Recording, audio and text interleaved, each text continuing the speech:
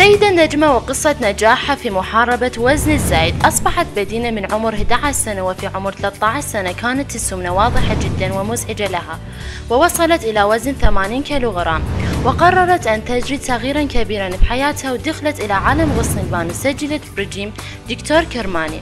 سيدة نجمة تقول كانت الحمية خفيفة وسهلة وما أحس بالتعب على الإطلاق لأن الرجيم يتنوع بالأكلات وكنت أختار أي أكلة أحبها وما صابني أي تساقط شعر أو فقر دم. وبعد مدة قصيرة نجحت بتحقيق حلمي وهو وزن مثالي 58 كيلوغرام. أشكر الدكتور كرماني وفريق العمل غصن البان لجهودهم الرائع.